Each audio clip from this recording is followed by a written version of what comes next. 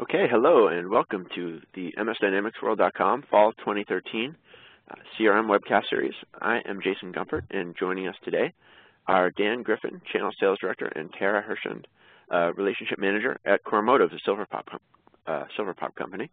And they will be talking to us today about using Dynamic CRM to plan and justify 2014 marketing campaigns. As we get started, I just want to add that we invite you to add your feedback and ask questions today during Tara and Dan's presentation. You can uh, add your questions and comments through the Q&A block or the chat block that you will see on the right side of the webcast panel. And our speakers will definitely leave some time at the end to answer questions. So without further delay, uh, please allow me to welcome uh, Tara Hershund to start things off. All right, great, thanks. Hi, everybody, and welcome. Thanks for joining us today.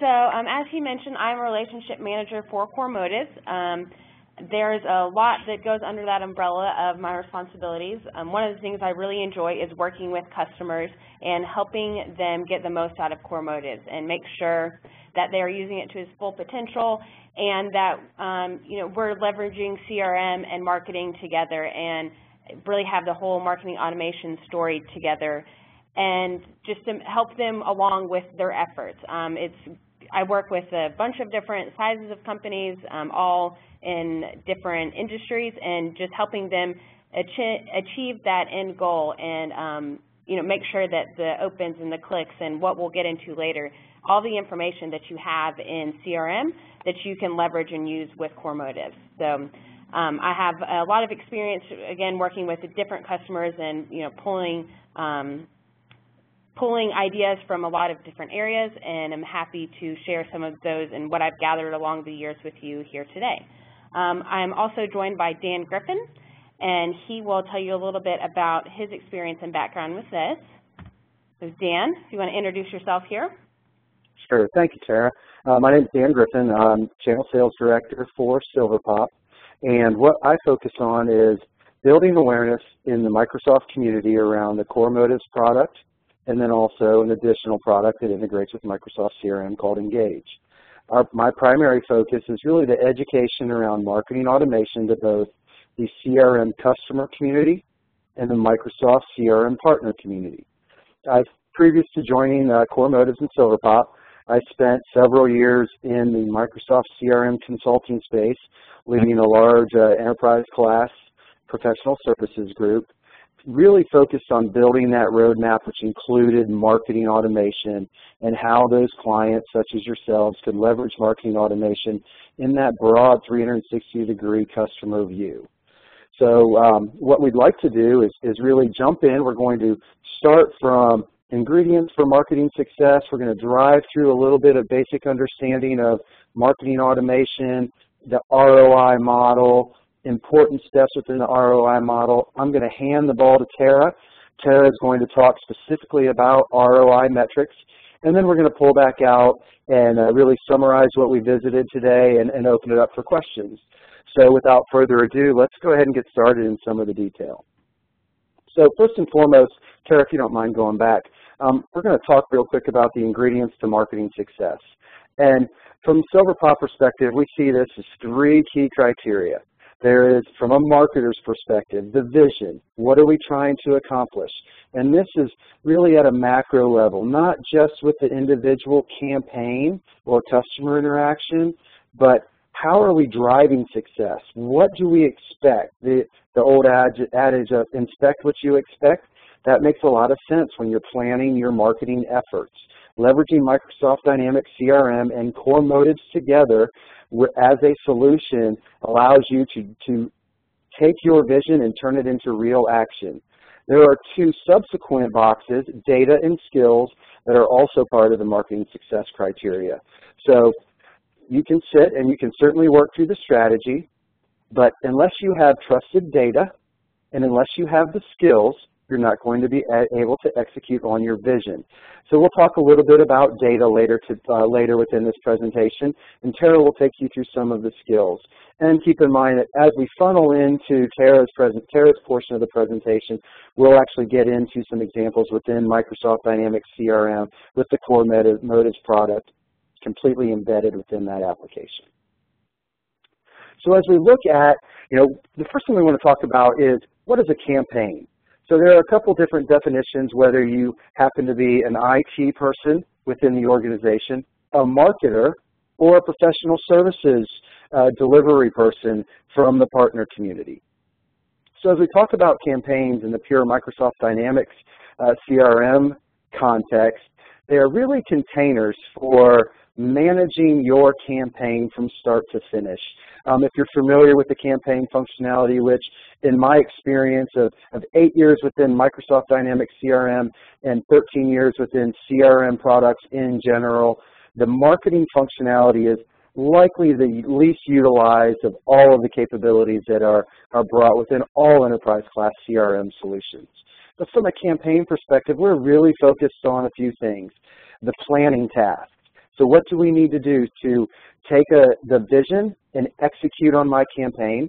The activities of a campaign, so those outreach touches or feeling mechanisms or listening mechanisms that allow you to interact with your prospects or customers. And then, of course, that upper level data around a campaign, driving the ROI. Uh, increasingly important in today's environment is the ability to take marketing dollars and apply a return on investment to either make sound decisions on should we continue to execute a campaign or a strategy, and also to justify your budget.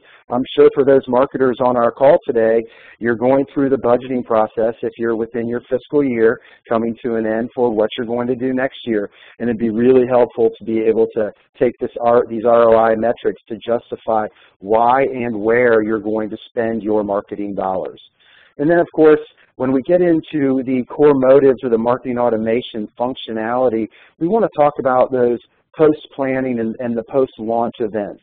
So the ability to, to really take that financial in information, to really start to grab ROI from the lead perspective through to an, a sales opportunity.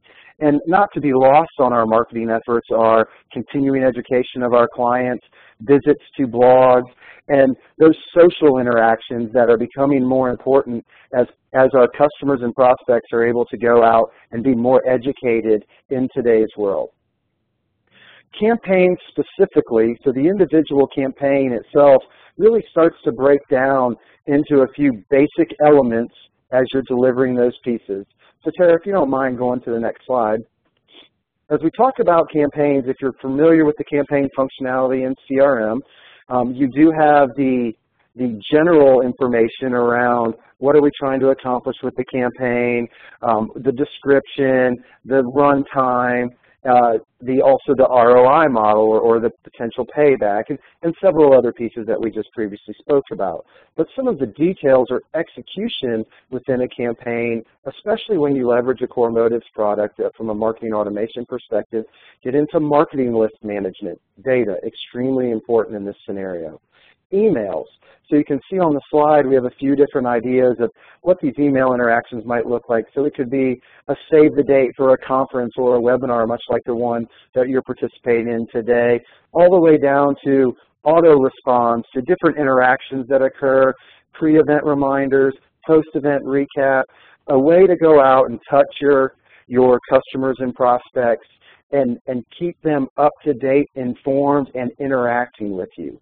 And then, of course, there's the next level of interaction, which includes things like landing pages, RSVP forms, which come under the context of a web form. So my ability to direct a customer or a prospect to a web page or a landing page, and then of course leverage a form to capture that information or data about the person that you're interacting with or even update some potential information. And then, of course, one that's becoming more important, again, in our world where customers and prospects are continually more informed, the ability to survey your customers and prospects, find out what's important to them, or any other example within your line of business. But it's incredibly critical to talk to your customers on a continual basis, and leveraging these different campaign activities from a marketing automation perspective is really important. So let's talk a little bit about what marketing automation is for those that might not be very clear on uh, marketing automation, or maybe you're just a little confused as to uh, the different pieces of marketing automation that we just touched on. So to make this very simple, we've gone ahead and we've broken this out into six uh, legitimate marketing automation topics. We've talked about email, we've talked about web forms, click tracking. So another piece of marketing automation that's really important is behavior and that individual behavior that your prospect or customer is displaying while you're not directly communicating with them.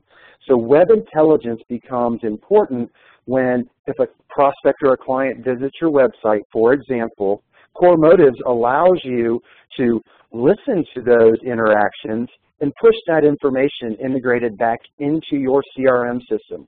We're not going to explicitly focus on the web intelligence today because we really want to focus on the ROI that comes out of a campaign. But just imagine the power to, of knowing as a salesperson our our marketing counterparts, that full business development cycle, where someone visited if they're doing product research before a salesperson chooses to interact them in any particular way, whether it be an email, a phone call, an SMS message, and so on. And then, of course, lead scoring. Sales folks want to spend time working with prospects that have a better rate of closure. Lead scoring allows you, from a marketing automation perspective, to assign values to different actions, providing your sales team with a better vision as to who or what they're going to be interacting with in the near future. Um, surveys we spoke about previously, and landing pages we spoke about previously. But it is incredibly important, again, to leverage all of these pieces that you have at your disposal just like you're focused on leveraging the different aspects of the social environment and the different opportunity that you have from an engagement perspective, just like as you're working at the, the micro level within an email send around the individual devices that you're going to be sending to. So leveraging the marketing automation package and all of those pieces within that package is very important. So as you develop your marketing automation strategy, you're certainly going to want to understand the end in mind, and that becomes ROI. How do I justify what I've just spent uh, it could be a week, several months, an entire year from a campaign or a strategy or a vision perspective. How do I produce an ROI that allows me contextual information about what worked and where we drove revenue from? So as we work from left to right around the funnel, you can see that campaigns, marketing lists, and mailings, those interactions or emails with your product are the first pieces. That's the front line within your marketing campaign. So to briefly walk through these steps, we've talked about the campaign and the activities associated with the campaign. You're going to build a marketing list, the data element, trusted data, making sure you're targeting the folks or the prospects or customers that need to be targeted within your campaign and really behavioral marketing at its finest. And then executing off those mailing lists or lists, the specific mailings to those folks. So again, that's the front end interaction. So the next step is how do I start to really understand the success of my interactions with my prospects or customers? So in Microsoft Dynamics CRM, the main way that this starts to work is through campaign responses. I suspect those folks that are using camp, uh, marketing or Microsoft Dynamics CRM have at least looked at the campaign response piece, but that's an integrated way to know that someone has interacted with a mailing that you have sent them. Campaign responses can automatically or manually be converted to leads. Imagine converting that campaign response to a lead and supplying a contextual score to your sales team or your qualification team so they're one step ahead of the game. And then, of course, we're all driving towards you know, moving down the funnel and providing our sales team with very specific opportunities for closure. And it, this is a closed loop cycle. So as the opportunity works its way through the opportunity cycle or the sales stage environment, as we push very hard to get to a win stage and even a loss stage, which you do want to measure, you can then understand the revenue driven by an opportunity over a time frame and associate that back to the campaign. With CoreMotives and Microsoft Dynamics CRM, this is an integrated, seamless process. You choose as a marketer, business development person, salesperson, operations person, how CRM works for you, and CoreMotives will support that process or that vision through your execution. Tara, if you don't mind going to the next slide, please. Thank you. So the first step in the real execution is cleansing your database. So like we talked about in the outset, your vision can be outstanding. Your strategy can be foolproof. You can have tactical steps within your campaign. And we've all, I'm assuming, had the same issue where we're not necessarily trusting our database. If you've gone through a CRM implementation in the past, you know that CRM adoption is key. Things need to be easy, and your data needs to be trusted by all individuals interacting with the data. It's really important to understand sending an email is, is relatively cheap, but it's not free. And, and why do we point this out? Because data that is sent, uh, an email that is sent to a, a, a customer or a prospect that does not reach that prospect is a wasted send. So we want to make sure that we are doing things to help protect ourselves and target market and not grab an entire marketing list of, of all contacts or all leads within your database and sending those out. Again, this is a basic marketing practice, but we just want to point out that it's important to cleanse your database. So be smart on who you're sending your emails to. Admit that you have dirty data. Admit that you need to spend time with your data and with your marketing list prior to a send. Of course, Microsoft Dynamics offers you a couple different options. You have a static marketing list and a dynamic marketing list. The nice thing about both of these lists is that you can leverage the attributes or the, the data elements within CRM to properly include or exclude the right segment of prospects and customers for your marketing list. Remove those inactive contacts or leads. It doesn't make much sense if someone or a automated rule within your organization has, has taken the time to put that customer or prospect or lead into an inactive status to send to them. They've been put there for a reason. Take the time to set your lists up appropriately. So on that, let's talk about a couple ways that you can clean up your data. And then once we get through that piece, I'm going to turn it over to Tara. So part of my experience within the CRM community, leveraging marketing automation functions and working with salespeople through an opportunity cycle is the trusted data uh, box that we talked about that was right in the middle of the vision box and skills step to successful marketing. We talked a lot, we spent a good bit of time already talking about the email address, the, you know, even the physical address, making sure that your data is clean. But you also want to track your, your prospects, customers, and leads who have email by the source.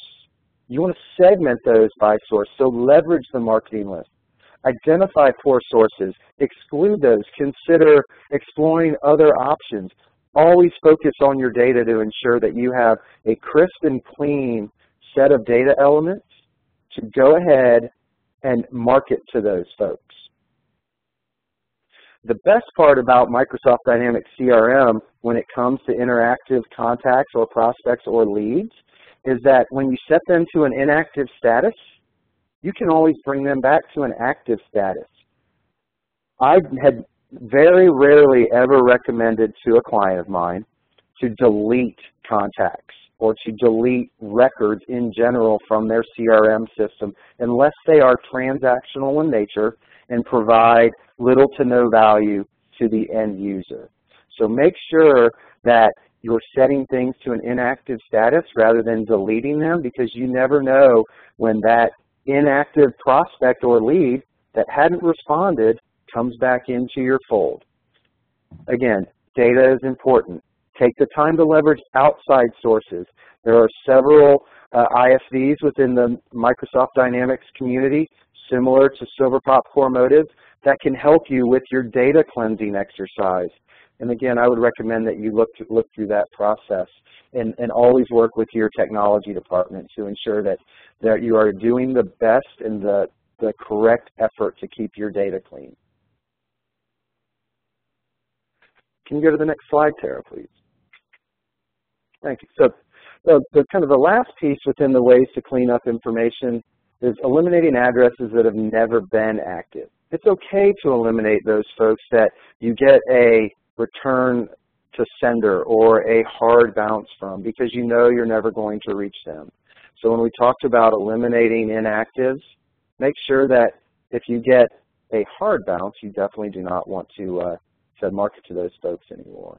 Um, identifying again your sources of your list. Make sure that for poor performing sources, which with a correct strategy through the ROI model over time, you'll be able to understand if those sources that you're buying your, your lists from or renting your lists from are actually able to uh, fulfill what you're expecting them to provide you. Implement a win-back campaign for inactive addresses. Marketing automation at its finest, the ability to build a strategy that does not involve further human interaction to nurture those inactive addresses back into an active state. Your definition of active is your definition of active, but to get them back into the loop and interacting with you, whether it be direct to your website or any other uh, way that you might be able to track that you're interacting with those prospects or customers.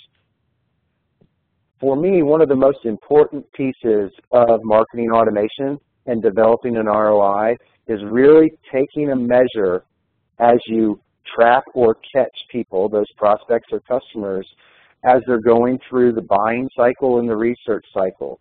Before they go to an inactive status, understand the different segments and the different behaviors that are going on and take appropriate action.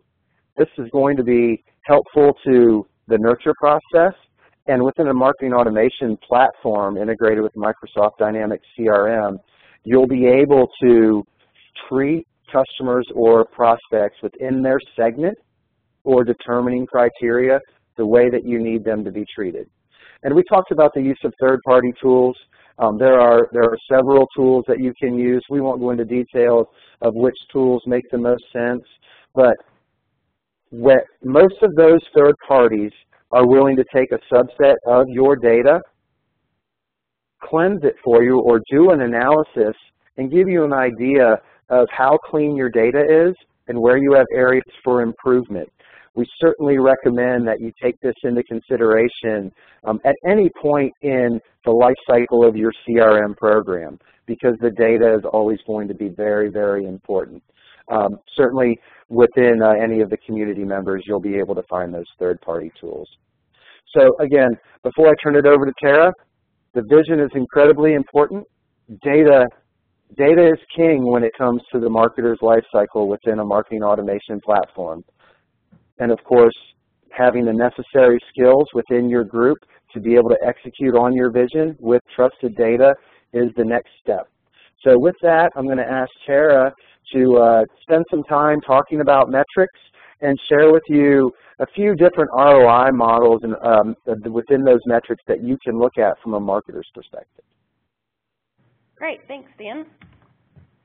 All right, so yeah, let's talk a little bit about understanding your metrics. So you send out your emails, um, you get all of this information back, and what should you do with it, and how can you understand and make sure that you are um, using all this information that you're gathering wisely. So, um, you know, people will come in and they might be talking about open rates, and you have an open rate and you had you know, maybe 30% open, and, you know, you're going to rate that as a success.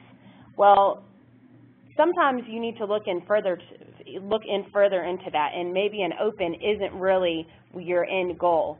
One of the great things about CoreMotives and being completely embedded within Microsoft Dynamics CRM, you can have all this information pulled directly under the contact record. So instead of just looking at that open or maybe the click and calling that a success, you can see a lot more into how this person is interacting with you and really judge off of that and be able to create marketing lists going forward, be able to create triggered emails, um, you maybe have some workflows set up that really tell you more and are, speak more specifically to that individual. So if you're if you're talking to somebody, you want it's kind of the golden rule, you know, treat treat others as you want to be treated. I'm going to not be happy with something if, you know, they're sending me sales on, you know, men's shoes. I'm going to be shopping for women's shoes or maybe women's clothing. If they are telling you this information about your, themselves, then you should honor that and you should speak to them relevantly. Um, so just having an open for an email or just having you know a click is not something that's understanding all of your metrics. um, and kind of pulling it back into Microsoft Dynamics CRM and CoreMotives, you can see the full story. So you can see how, if they're opening, if they're clicking, what they're clicking on, where they're going to on your website after that, um, if they've filled out any web forms, they've downloaded white papers, or maybe they've downloaded a brochure, you can see all of that. So just a little bit about your metrics. The open rate should really kind of be um, called like a graphics rendering rate because an open is recorded whenever the receiving machine calls for that graphic from the sender. Um, so that's why this is kind of a more accurate term for this. Um, you know, with a lot of the times now the images are turned off by default, so a lot of um, emails can be opened without actually um, being registered as an open. Um, so of course, you know, it's not they're not unimportant, but they just need to be understood as as a measure and not an exact this, this is an interest. It could just be an open. And but then again, you know, maybe they didn't even open it. It didn't register as an open at all, but they did click on something. So that's why we also offer something called an implied open. So um, some of the things I just want to be clear on and kind of walk through, I know that not everybody loves definitions, but I think it's just great to get a good understanding of what all of this means and how it relates to you and how you can leverage, leverage this information you're gathering. So let's talk a little bit about um, the metrics that we should be using instead. So one of them is going to be email conversions. So how many or what percentage of the people took a direct desired action as a result of an email campaign? So this is kind of getting into a bit deeper into that on those clicks and where are they going after they open the email? What pages are they, are they looking at? Have they looked at this page before? Have they opened an email about this topic before or about this product? Um, you can really you can really look in and see how what their conversion rate is and how they are how they're giving you more information about what they're doing and all of their clicks through, they're telling you things about themselves. And it's your job to capture that information and use it um, to your advantage and to their advantage as well. I'm going to be much happier whenever I open an email that's relevant to me and I'm going to think, okay, these people really know me. You know, they're they're wanting, they're helping me through this buying process. They are, um, you know, suggestive selling to me. That that makes me happy. Um, you know, and of course there's always that, that kind of thin line of being too helpful and being a little creepy. So you always want to make sure, you know, that you're you're not picking up the phone five seconds after they're on the web page and like, yes, we just saw that you looked at this, this, and this page, or you clicked on this, this, and this. So, you know, you want to do it gently. You want to do it um, kind of as you as you would talk to somebody face to face. If I walk into a store and somebody sees me shopping around, let's use the shoe example again, you know, sees me shopping around in the women's shoe section, they're not going to come up and say, hey, by the way, I know that you need a new pair of men's shoes. Here's a sale on this. So you want to talk to somebody um, over email and over um, interactions with them, phone calls, just as you would talk to them face to face. So, you know, they're giving you, you're not going to have the body language, you're not going to have those clues, but you'll have other clues about how they are interacting with your store or with your site, and you want to speak relevantly to that. So that's a little bit about the conversions. Um, we also have the email revenue. So this, you know, would be the amount of revenue generated as a result of the campaign. So this really gets into that ROI tracking, and this is where those campaigns can really be utilized. So you might have um, a, a handful of different analytics that all come into one campaign, and you can track that revenue on a campaign basis. So you can group those all into one bucket, one campaign, and have that together and be able to look at it as um, as an aggregate level versus having to look into every single mailing or look into every single section to see how these are performing. The, the revenue can be bucketed with those campaigns and you can have a campaign ROI associated with that then. We also have our email gross profit. So this is the amount of revenue generated as a result of a campaign minus your direct costs, such as the cost of deployment, creative development, list rental, any of that, and our unsubscribes and customer service. So this is just kind of a, an analytic you can pull together and kind of get a good picture. This is something that um, probably, you know, a lot of your C-level um, people are going to be involved and want to know the exact numbers. Um, you know, I know our finance team, you, you're looking at it and they, they say, give me numbers, give me gross profit, give me, I want raw data, I want all this information here. and they are going to look at it differently than maybe your marketing team would. So you want to make sure that you're you are leveraging this information that you're gathering and um, can use it you know, across multiple ways. We also have our total click-throughs. So this is um, a number or a percentage of links that were clicked on in a campaign. Um, and it can be you know, just one link or multiple links um, within the same message. I really prefer to get down and get into the percentages of things. Um, you know, a number can be very relative. It's, you know, depending on how big of, of a list that was or how big of a um, send that was, you wouldn't necessarily know on a number-wise. You would want to know more on a percentage-wise. And the percentage is good, um, especially as we start to transform into bulk emails all the time and always sending the same message to everybody. We really want to transform into sending personalized emails, one-on-one -on -one emails. So we want an email that maybe we have a bulk send that's going out, but it's going out to 200,000 people. But our goal is we want that email to look different for each individual that receives that. So maybe that's with dynamic content, maybe that's with you know um, some merge fields, you're using first name, you're pulling in interest, um, maybe you know if they have a, we have a lot of professional sports teams um, on board with us, maybe if they have a favorite player, we want to um, craft that happy birthday email to come from their favorite player and maybe have a, a picture of their favorite player on there. Um, really sending, and this can be done with those bulk emails. You can send it all to everybody at once if you would like. Um, on a birthday one, you'd obviously, you know, set it up and have a nurture campaign to run um, whenever the birth date is. But you can send out these emails, and it can be one kind of one effort, but just by utilizing some smart features, again, like dynamic content or merge fields, you can make that an individualized, customized email so each person feels as if they're getting this own, their own email that was tailored just for them. This can really help on those email click-through rates. Um, if somebody feels like they're interested and they feel like they're being listened to, and this email that you sent them interests them, they're probably going to click through on it. So that's something that you can really help um, whenever you're trying to look in and see how you're going to separate things out you can really look and say, okay, what is going to interest this person? What is going to make them click? Again, you know, our open is not always kind of the end-all be-all. You want somebody to click through. You want somebody to, interact with your mailing. You don't want them to just look at it.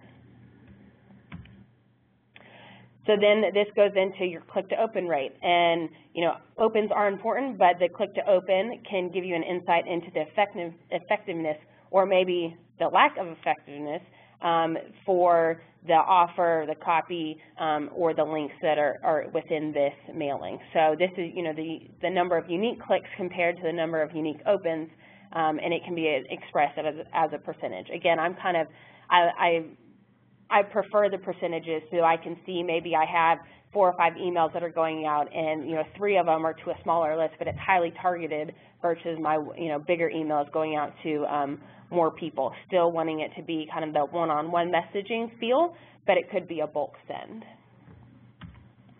And then we have our total email click-through. So this is the number of percentage of links that were clicked on into a campaign, and you, they can be clicked on multiple links or in the same message as well. And I just want to make sure that we um, we have our mailings that are going out, but then we also have campaigns that are associated with that mailing. So just so, um, I know it can get a little confusing sometimes. Um, some people refer to the actual email that is going out as a campaign versus a mailing. Um, just in kind of the CoreMotives world and, and getting um, your, your email marketing into CRM, you would um, use the campaigns as kind of those buckets and what Dan was speaking about earlier. That's kind of a place to hold all of that information together for a campaign or for an effort. And within that campaign, it could be multiple mailings. Maybe you have, um, if you know this is something about an event, we have a save the date, we have an invitation email, we have an autoresponder for that email. Um, we might have a web form associated with it. So we're going to give them, an, we have an action that sends them an autoresponder for that RSVP. Then we have an, a pre-event email that goes out a day or two before the event. And then, you know, maybe we have a, a day of event um, mailing going out and then a post-event recap that, you know, might include a survey or something of that sort. So you can look at the total email click-throughs on an individual mailing level and then also in a campaign level. So all of those grouped together would be that campaign. And then we also have our unsubscribe requests. So this is something you always want to pay attention to as well. If somebody is unsubscribing, they are saying, I'm no longer interested in this, please you know, don't send me this type of mailing. So, and this can be a number of percentage of the people that unsubscribed um, after a particular mailing. And if you can notice that if this number is, is getting bigger, then you're probably doing something wrong. You are not sending targeted messages to these individuals, and they, they're not they're not satisfied with the content you're delivering to them. So you really want to take a look into that. Um, a little bit of what you can do with these unsubscribes is instead of just having an all on or an all off, so send me everything or send me nothing, you can have subscriptions and subscription centers. So just to talk a little bit about those, a subscription can be maybe you have newsletters that go out um, on a monthly basis, then you have webinars that you maybe do once a week like we're, like we're doing here. And then we have maybe you know product update emails. So those are just I'm kind of three generic types of emails that um, a company may be sending. So you can give them options to say, okay, I still want to receive your monthly newsletter, and yes, I'm still interested in receiving um, all those product updates, but maybe I'm not so interested in receiving the weekly webinars anymore. Maybe I'll go to the website and check, check out what webinars are coming. Um, that allows them to say, okay, yes, send me these two things, but I'm no longer interested in the webinars. Don't send me that anymore. So now instead of them having to receive every mailing that goes out about the newsletters, every mailing that goes about about webinars, and every mailing that goes out about product updates, and receive all of them or none of them, they can really pick and choose. So that's another way that you can make sure that you're sending them targeted messaging. And then we also have the email abuse complaints. So, you know, this is something that that you we don't like to see. And I whenever anything comes up um, you know, working with my customers it's always something that I'm like okay this is kind of the you know, let's let's step back take a look at what we're doing and reevaluate the situation here. Because if somebody is marking you as spam then you know that's something that you're getting complaints. So you you've really kind of upset them. They don't want to receive that anymore. That's, again, why the subscriptions and subscription center, letting them tell you what they want to receive and you being able to honor that is very important. Within CoreMotives, if somebody um, unsubscribes from a particular subscription, then it will map back to that contact or lead record and have a contact opt-in or opt-out. Um, then we also have the global opt-out. So let's say if somebody had like one of these spam complaints, we could globally opt them out so that they would not receive any emails from you again um, through, through CoreMotives. They could still receive those kind of one-off emails if you, you know, a salesperson is talking to them or something and sending messages back and forth. But as far as a bulk then um, we would switch their record to do not allow bulk email. And so that even if they somehow made it on a list somewhere, um, we would pull that out and not send to them. So this is this is just good to be able to honor their requests. And um, obviously, you know, keeping this metric as low as possible is definitely crucial to the, your, the health of an email program. So again, if this is something that you're having issues with, it's something you kind of want to step back and maybe, um, you know, re, rethink what you're doing, rethink what you're sending, and make sure you, you have a good grasp on that. Okay, so now I'm going to go in real quick and I want to show you a little bit of how these come into CoreMotives. Let me share my desktop. And come into here. So hopefully, all right, looks like you can see that. Okay, so um, we are in CoreMotives here, and this is, we are also in CRM. It's all built in one. If you haven't seen CoreMotives before, here's your kind of first glance. Um, but so CoreMotives lives within your marketing tab of CRM. I'm going to dive right in and kind of talk to you here about this email marketing section. And let me just tell you, there's a lot to CoreMotives. You can see we have the web intelligence, the web content, we have social media, um, the email marketing section, and the usage summary. But um, for today, I definitely want to keep on our track of talking about mailings and talking about opens and clicks and um, your ROI associated with this. Um, if you're interested in learning more about some of these other features, feel free to reach out to us and we will be happy to show you those and go through a demo with you on here. Um, so going into a mailing, you can see I have in my status sheet in, I have it um, selected so it'll show me all my sent mailings. You can see I have my recipients, my bounces, my opens, my implied opens, so that's what I mentioned earlier, with maybe they clicked on a link but they didn't actually show the images, so it didn't register as an open. You can have the implied open here. We have our clicks, any unsubscribes, and our spam count here. So I've opened up one of these, so let me click into here, and I can show you a little bit more about this. And so we, here's a mailing that's gone out. You can just see here's kind of the HTML content of this mailing. I'm going to jump down into the statistics. And now you can see my unopens, my bounces, and my opens. So you can see it um, numbers-wise or as a percentage here. And then this is that same information just without your bounces. And then if I scroll down a little bit, you can see my unsubscribes here. So you can see numbers-wise and then also as a percentage. I can really dig deep into this and look into my interactions. So here you can see all my opens. I can see what browser they're using whenever they open this. I can come in and filter it. Let me click on my type. We'll go into opens. And let's say maybe I want to see all of my clicks. I can um, filter it by there. Now I can see all my clicks. So I can see all of these individual clicks for these people. I could also come in and filter it. Maybe I want to separate it out and just see my bounces. So maybe I want to see my hard and soft bounces. I can select those and now I can see my hard and soft bounces.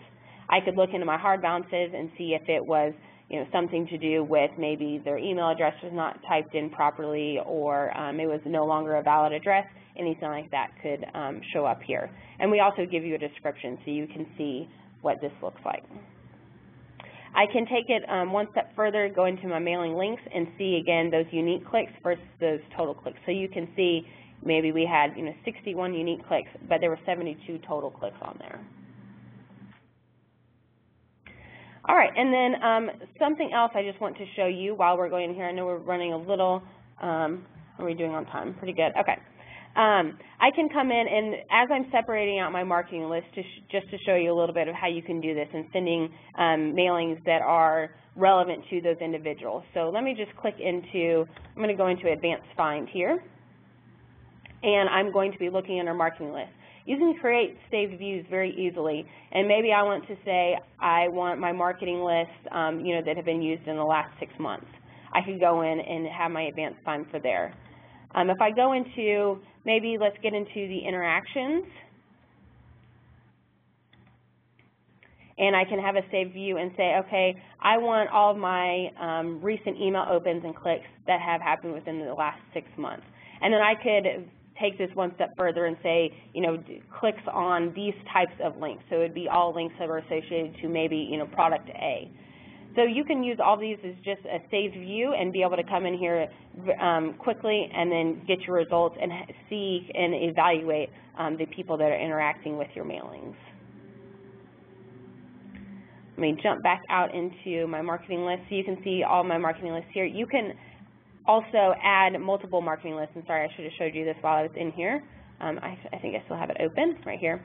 Um, you can have additional lists on your mailings as well. So you could have four or five different lists, pull them all into one mailing, and again, we can make our HTML dynamic and have it show different images, maybe different text, depending on um, what stage of the sales process this person is in, or maybe um, what their job title is. You can separate those out and send individual messages to them um, through dynamic content and through merge fields. Okay, and let me jump back into my view here. Okay, so, um, and as you build out your scoring model, it's important to keep in mind that there are two really important types of data that um, it is being your scores are being based against. So what you want to do is come in and develop a strategy for your campaign ROI. So definitely you want to determine your ownership. So who's going to run the reports, when are they going to be run, and how are they going to be distributed. Um, you want to determine who's going to interpret those reports and share key findings and make sure that each team is crystal clear on whose responsibility that is.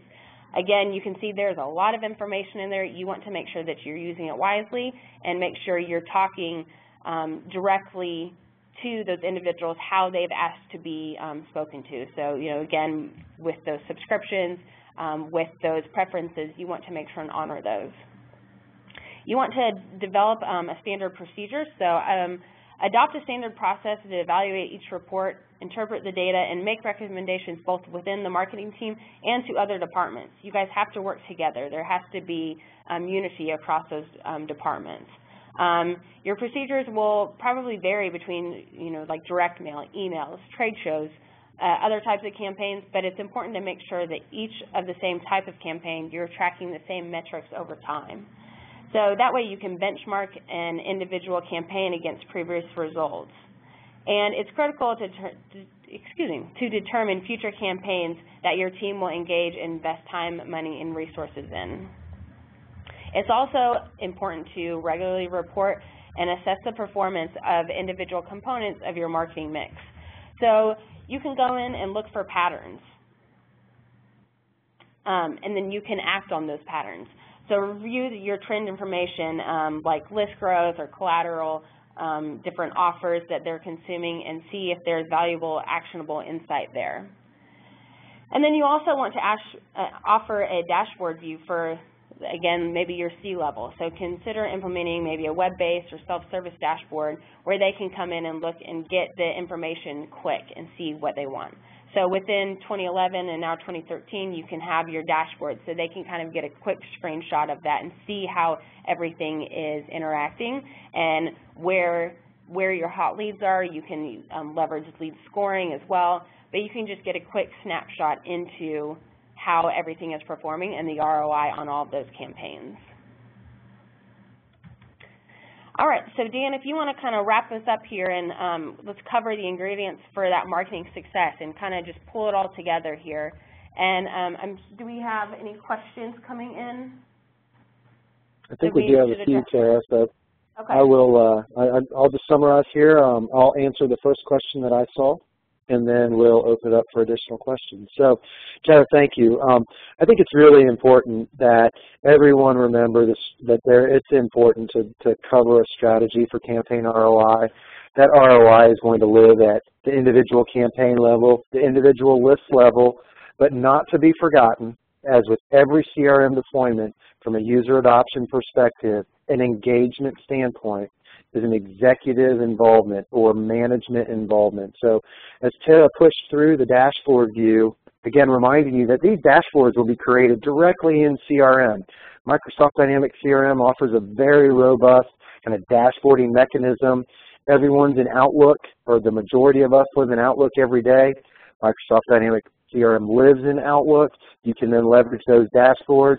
And if you find something that happens to fall outside of the dashboarding capability, which isn't very often, or because an executive wants it in a different format than the dashboards can offer, you can always punch out into an SSRS report, which is basic CRM uh, capability as well, comes with CRM just by virtue of the way that CRM is built. So it's important to think about individual list or source strategy what, when I evaluate those pieces, total campaign strategy and evaluation, and then the people side of the equation.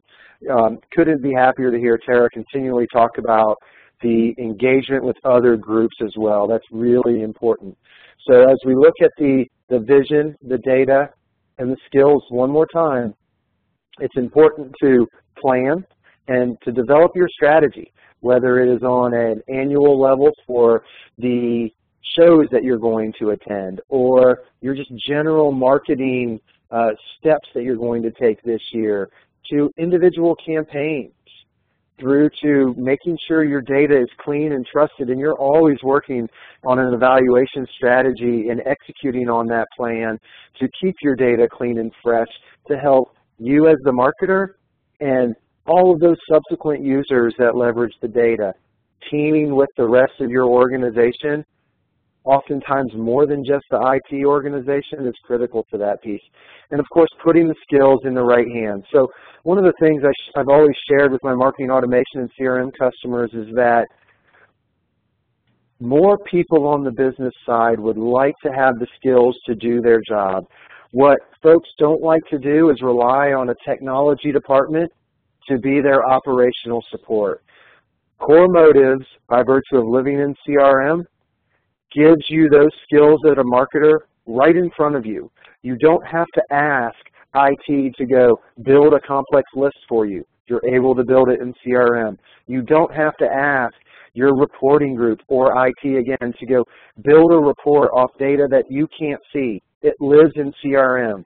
CoreMotives data is integrated and lives in CRM. So you have the skills and you have the capability to do things real time and not put in a service request, if you will. So it's important that these trailing two pieces, data and skills, be thought about on a routine basis.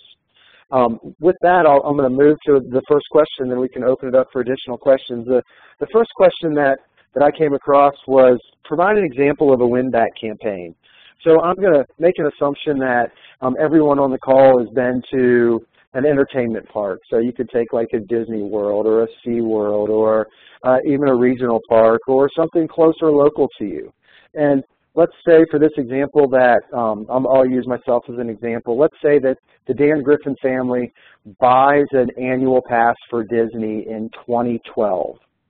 And the calendar year comes, or my annual pass comes up and it expires.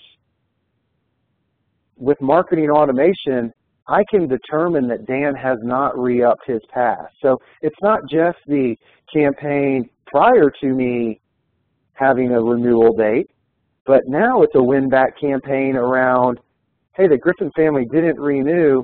Let's find out why and market to them in a different way because it could be a myriad of reasons. Maybe I don't live in the area. Maybe there's a different park within this family of, of entertainment parks that I could be marketed to. So an example of a win-back campaign is when you're comparing information that happens now to something that was more positive in, in the past. Um, so hopefully that helps as an example uh, of a win-back campaign. And you can then take that data within this win-back campaign and you can market to the Dan Griffin family very differently than someone who's never been an annual pass holder, like you know, at this particular entertainment park, for example. So with that, um, Jason, we'd go, like to go ahead and open it up for uh, for questions if there are any. Okay, great. And uh, as we said, you can uh, ask your questions either through the chat or the Q&A block, and we'll uh, take as many as we have time for here. Uh, Dan, one question that came in. What responsibilities does the sales organization need to take on in CRM with regard to marketing campaign ROI? Sure. So it's a great question. The uh, most important piece is kind of marrying the sales and marketing organizations together. I've been involved in numerous Salesforce automation deployments from a CRM perspective where marketing becomes an afterthought. And I'm sure the marketers on this call have all heard the uh, I get paid to sell, not put data in uh, salesperson discussion.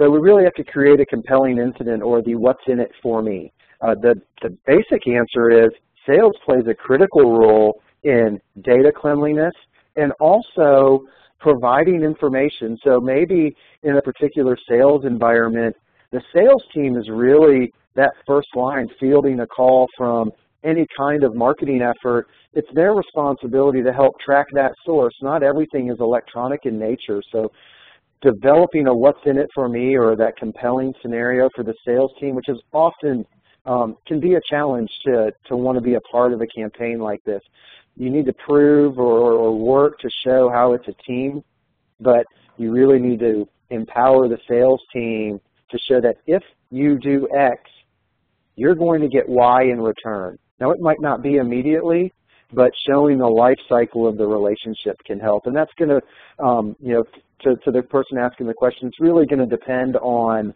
what your business model is like. We always encourage our sales and marketing departments and CRM deployments, both enterprise-wide and small, medium business, to take the time out and think about that vision that both are trying to accomplish, knowing that each has a separate role within that vision, but always reevaluating what you're doing to make sure that you're helping each other because sales and marketing are eternally coupled together in driving business. All right, great. And I, I, I would actually ask as, as a follow-up to that, do you have any guidance on um, maybe the, the profile of a marketing team that would be sort of managing uh, marketing automation capabilities uh, like the ones you've been discussing today, you know, or maybe a couple of different profiles for a smaller versus a larger organization? Are there are there recommendations that, that you typically make? Sure. Tara, do you mind uh, maybe talking a little bit about some specifics, uh, you know, without mentioning customer names that make sense from a small, medium business, kind of the profile marketing breakdown versus, you know, the larger ones much tougher because you can have 50 or 60 folks and, and it can be highly variant based on those uh, those enterprises. But Tara, could you talk about the different the different kinds of makeups of marketing departments? Yeah, sure. So, and I mean, as I mentioned in the beginning, I, you know, I have I have worked um, with the a large variety of um, marketing teams and, you know, all the way from a, kind of a one a one man or one woman show all the way up to you know 50 or 60 people um, all within there. I think a lot of times, and especially now that um, you know people are really focused on the numbers and focused on um, getting that return on investment. You want to the marketing automation piece really helps marry this all together and helps that one person be able to do the work of maybe a five or six person marketing team and it, they can go in and set up that automation, set up um, things on the back end and just let them go. It's kind of a set it and forget it. Um, so, you know, there's usually always, you're going to want somebody that's focused on the data portion of it, somebody that's helping with that reporting. Um, I often see a lot of marketing teams that have one person that's kind of devoted to the email section of it. And um, I usually work, you know, fairly closely with them as well on making sure they get everything set up, getting all of those nurture programs together, getting it all set to go so that they can kind of set it once and then it can manage itself. Um, with those subscriptions, that's another great thing that you can kind of set it up in the beginning and then it's going to manage itself and CoreMotives will go in and update that um, going forward and you know, with those opt-outs and the um, subscribes and all of that. Um, so always, I always kind of see it separated out, um, for, and again, depending on the size, but you have some people that have focuses on others, but then on focus on one specific thing, but then it's always good to make sure that everybody is working together and speaking together. Um, then, you know, we usually have our are um, kind of collateral type people, the people that are um, generating this content and then working in tandem with the person that is sending out these emails to get this all grouped together. I'm not sure, does that answer the question a little bit of how, how it's kind of separated out or? Uh, I, I, think it does. Um, okay, yeah, certainly great. different roles to, uh, to be aware of there. Uh, well, that ends the uh, the question queue here, and we are at about the top of the hour, so uh, maybe we can start wrapping up. Um, we have recorded today's session. It'll be available on demand uh, quite soon. Um, Tara and Dan, I want to thank you for your time today. You're welcome. Thank you. And thanks to the audience for, for joining us, for asking the, the questions, and we really appreciate having you. So uh, from us here on the panelist side, thanks, and have a great day. Great. Thanks.